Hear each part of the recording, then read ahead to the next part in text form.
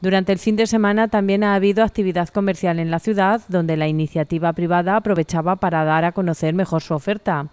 Es el caso de Talleres Manchegos en el Polígono Industrial Alces, donde ha realizado la séptima edición de una jornada de puertas abiertas. La verdad es que estamos muy satisfechos con, el resultado. Hemos tenido una afluencia de, clientes, eh, muchos de ellos reincidentes. La verdad es que la gente ya conoce eh, este formato de, jornadas y bueno, eh, ¿en qué consiste? Pues estas jornadas consisten en exponer a la venta y ofrecer a la venta eh, una gran cantidad de vehículos de toda la gama que tenemos en las dos marcas que representamos. Más de 90 coches de las dos marcas de referencia de las casas Audi y Volkswagen han estado expuestos en la jornada en la que además de recibir visitantes, la plantilla de la empresa ha cerrado bastantes operaciones con coches nuevos de pocos kilómetros y con descuentos que en algunos casos significaban un ahorro de hasta 18.000 euros sobre el precio original.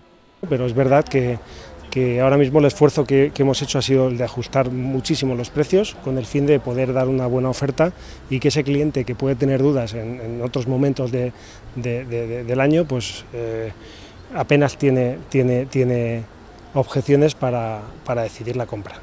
Este tipo de jornadas son un indicador de la recuperación de un sector que ya está dando muestras de recuperación en todo el país, donde el gasto familiar vuelve a la vivienda y a los coches.